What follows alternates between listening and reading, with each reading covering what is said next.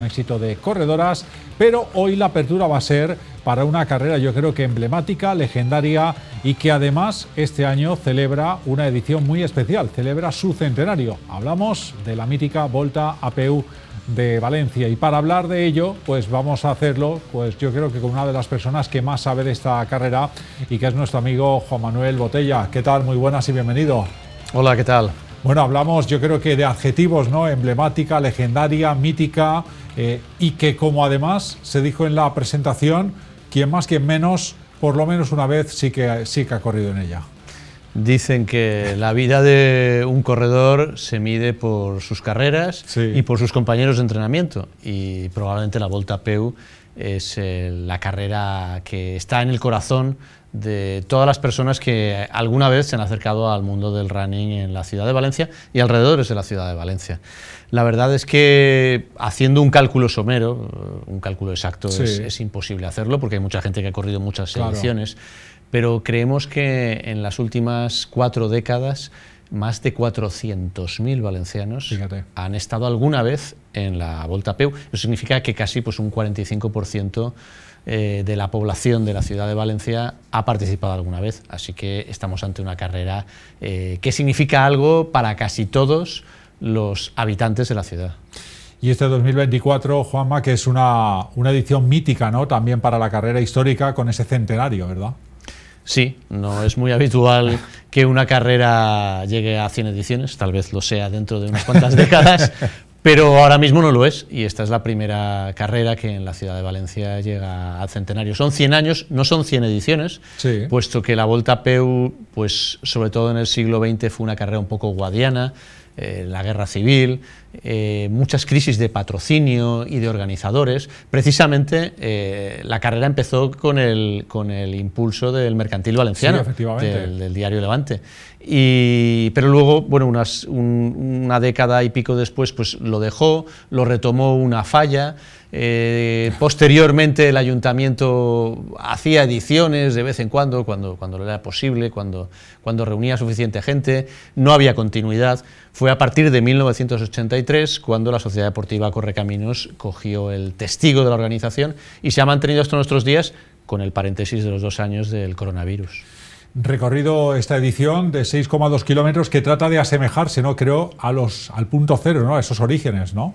Sí, hay un puente en la ciudad que ya no existe, que ha sido reemplazado por, por algún otro, pero básicamente el 75-80% del, del, recorrido es el circuito clásico, el que comenzó a hacerse en los años 20 en la ciudad de Valencia. No exactamente en la primera edición, porque la primera edición salió de la plaza del ayuntamiento, pero ya todas las demás salieron de la Alameda ya con este circuito eh, que va a hacerse en el próximo domingo. Una prueba además que también tuvo su énfasis en la participación femenina, ¿verdad? Allá por 1900, eh, a mediados de 1900, ¿no?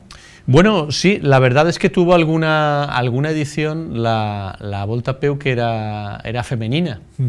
Eh, en sus orígenes era exclusivamente masculina, hablo de los años 20 del pasado siglo, pero sí que, como dices tú, hubo alguna edición femenina. Pero quizá lo, lo, lo más distintivo de la Volta Peu en, eh, desde hace unos años es que es una prueba en la que se inscriben más mujeres que hombres sin que se haga ninguna campaña especial, sin que se, cuide de ninguna forma especial a las mujeres. Simplemente eh, mm, las mujeres desde hace mucho tiempo han acogido eh, esta prueba como una forma de comenzar, de iniciarse en el running, iniciar a sus familias, a sus compañeros, a sus amigas, a sus parejas, a sus hijos, y, son un auténtico motor eh, que arrastra a, familias enteras. De hecho, tenemos un, premio dedicado a la familia más numerosa que, esté inscrita en, la Volta Peu.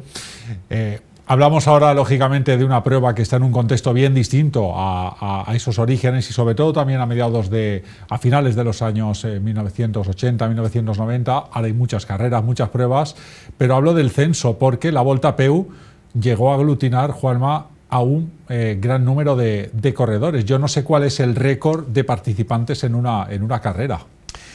Bueno, eso, es, eso es complicado de determinar. Podemos ser verosímiles, pero no exactos.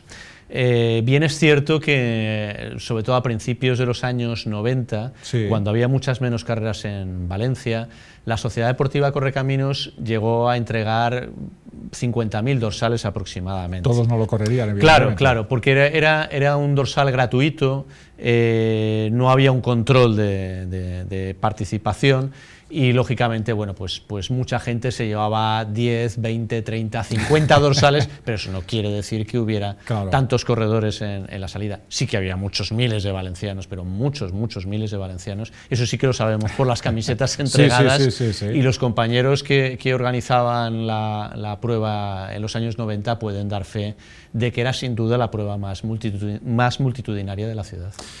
¿Qué hace de la Volta a Peu una carrera especial o, qué es, tú crees que marca esa, seña de identidad respecto al, al, resto que también tienen su mérito, creciendo años, hay muchas carreras yo creo que emblemáticas en Valencia y en la provincia, ¿qué es lo que hace a la Volta a PU especial? Pues es un viaje en el tiempo.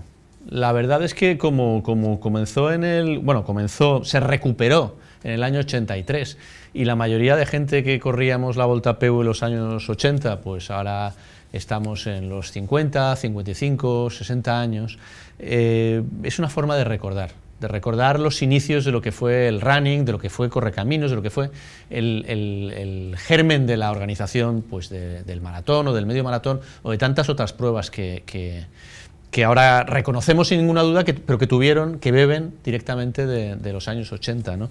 Y, ese reencuentro con lo que fueron las sensaciones, la carrera que, que, recuerdas de, esa época, pues le da un sabor muy especial. La verdad, eh, yo, yo recuerdo que eh, estuve, mm, la última Volta Peu que, que corrí eh, cuando, cuando yo tenía afán competitivo, que fue en el año 91, eh, me tomé un paréntesis de 11 o 12 años hasta que volví a correr y cuando volví, volví a la misma Alameda, a las mismas sensaciones, a los mismos compañeros de Correcaminos que estaban allí organizando, y era como, como regresar a, alguna parte de tu vida anterior, y, eso le da un sabor muy especial. Y ahora el transmitirte, transmitirlo a tus hijos, a tus sobrinos, es una forma también muy especial de compartir el legado del running en Valencia. Para Corregaminos, ¿qué significa esta Volta Peu? Porque inmersos en grandes pruebas, sobre todo la, de, la del maratón o, el medio maratón, ¿qué significa esta Volta Peu para la Sociedad Deportiva Correcaminos? Pues también significa encontrarse con sus orígenes, porque es una carrera organizada eh, de manera artesanal, como, como lo se hacía en, esa época, hace 30, 40 años, eh, en la que mm, sobre todo, sobre todo, eh, lo que prima es la libertad de tomar por un día las calles, el centro de Valencia, eh, no importa cuál sea tu velocidad, no importa si hay momentos en los que caminas, porque esto no es una prueba homologada, esto no es una prueba en la que intentas batir un récord, es una prueba simplemente de, disfrute, de, paseo en, la primavera valenciana, eh, para pasar un día incluso en familia, es una de las pocas carreras junto con la San Silvestre que prácticamente puedes hacer con toda tu familia, que puede estar eh, el abuelo con, con sus hijos, con los nietos, y es una manera de compartir deporte, eh, compartir salud en una mañana caminando por el centro de Valencia y tomando esas calles que normalmente son de los coches Y, son de los peus, del pie de todos los participantes. Oye, para ir acabando, con tu experiencia y tu conocimiento de, todas las pruebas, eh, ¿hay alguna prueba o carrera similar en España o fuera de, España eh, a esta vuelta a PEU? ¿Se hace algo por ahí algo parecido? Bueno, hay, hay, muchas carreras internacionales que sí que han llegado a más de 100 años y, que tienen una tradición inmensa. Bueno, el propio maratón de Boston pues comenzó... Pero ya hablamos de prueba competitiva, me refiero a una prueba de se, se comenzó en 1897, ¿no? Y, en, y, en, Europa pues hay alguna, alguna prueba también casi centenaria. Pero eh, una carrera urbana que tenga una tradición de, de, 100 años, pues casi tendríamos, eh, nos sobraría algún dedo de la mano para contar en Europa cuántas hay. Digo una carrera urbana, ¿eh? porque sí que hay crosses que, que llevan mucho tiempo, etc. Oye, y para acabar, ¿qué mensaje podríamos lanzar a esas personas? Todavía están a tiempo de, inscribirse desde aquí hasta, hasta el fin de semana para participar, recibir esa camiseta conmemorativa que yo creo que todos hemos portado con orgullo al día siguiente en el, en el colegio, ¿no? por ejemplo, cuando lo hemos ganado, y sin olvidar además también ese componente solidario ¿no? que también engloba la, prueba.